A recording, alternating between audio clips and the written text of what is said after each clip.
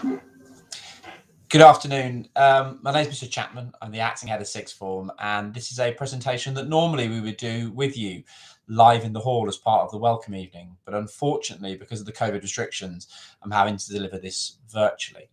Uh, this short video gives you an introduction to something that we have given out to the Year 12 students this afternoon, which is their ALPS target grades. The purpose of the presentation is to try and help you understand how those target grades are calculated, why we use them, and then to think a little bit about how we can support the students here to make sure they're going beyond their target grades to achieve the very best that they can. So sets minimum expected grades, otherwise known as MEGs, for students based on the performance of the top 25% of schools and departments in the Department for Education's national dataset. That's to say that the expected grades that we give to students are calculated on the performance in the top 25% of schools, i.e., they are very aspirational. At a school level, the advantage of this is the ALPS reports that we subsequently get will allow us to compare how students doing biology at Mill Hill County are progressing against students doing biology at other schools it creates a really robust measure which encourages us to make sure that we're providing the best quality of education for our A level students. The minimum expected grade at A level is based on the GCSE average point score, otherwise known as APS, of the student. And this then acts as a guide, but it should be, very clear here, treated as a minimum target grade we want, we expect, we hope many of our students to go beyond the minimum target grade. The way those ALPS MEGs are set is by looking at the A-level performance of previous students who have had the same average GCSE point score. And I'm going to give you an example now to try and explain how that process works. If we pretend that this is the result of a fictional student, we can see that they performed pretty well. They've got an eight in maths, an eight in dance, achieved sevens in both Englishes, sevens in history and business studies, combined science of seven six, and performed slightly less well in geography and French, although they've still passed with a very creditable five. When you add up all of their GCSEs, their total score is 67. You then divide that by the number of GCSEs they've taken to get an average point score of 6.7. We then use that average GCSE point score to calculate their minimum expected grade. So the A-level performance of previous students who have the same average GCSE point score is the basis for setting the ALPS grade, the MEGS.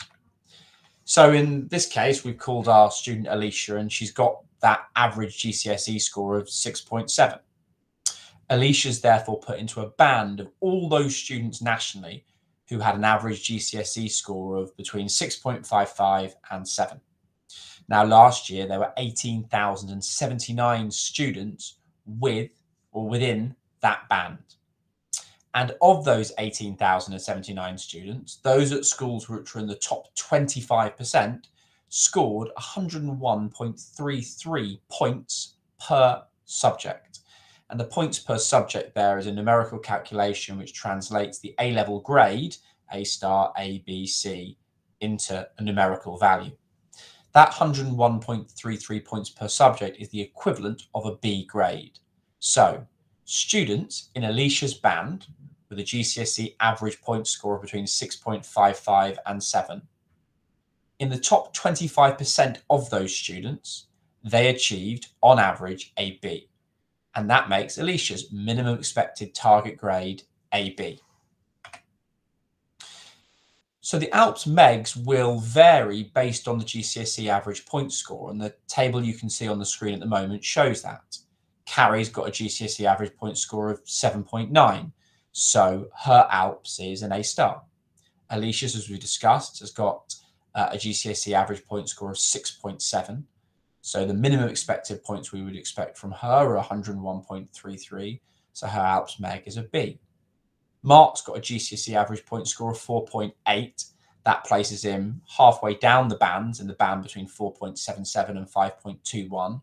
His minimum expected score is 79, and that equates to an ALPS minimum expected grade of a C. So the ALPS minimum expected grades that students have received today have been based on their GCSE average point score. That places them in a band, which then looks at how students in previous years with the same GCSE average point score have achieved. We've focused on the top 25% of those students, said, well, what on average did they achieve? And that's how we have calculated the minimum expected grades for the students here. As a school, we're really clear that focusing on the top 25% is a natural fit for us. We don't want our students to just be achieving what the average student achieves. We want them to be keeping pace with those students who are achieving the best results in the country. The other reason why these are minimum expected grades and not, for example, target grades is that the GCSE average point score may not reveal a particular ability or skill within a certain subject. So you might have a student with a GCSE average point score of a 6.2, but they achieved a 9 in GCSE history and they're taking history at A level. We would therefore expect them to exceed their minimum expected grade, which is why we call it a minimum expected grade and not a target grade. To give you some context, last year there were 560 A level examinations that were awarded. 185 grades were higher than the minimum expected ALPS grade. 224 were in line with expectation, and 151 grades were lower. We very much hope this year, with all the support that we are giving students, that we will see a significant increase in the number who are above expectation and or who are in line with expectation. We'll be using these minimum expected grades to have conversations with students in the coming weeks both with form tutors, subject tutors, and heads of year. The idea is that students will be reminded of what's expected of them and where they are currently not reaching that standard, we can be discussing what they need to do in addition to make sure that they are getting to that minimum expected grade. If you have any questions about this process or about how these grades have been calculated, please don't hesitate to be in touch with me.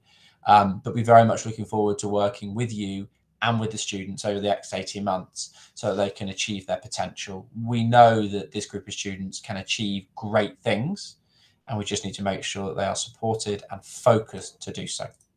Um, I'm very sorry we couldn't do this in person, but I hope this has nevertheless been useful and we look forward in the future to seeing you back on site soon. Thank you.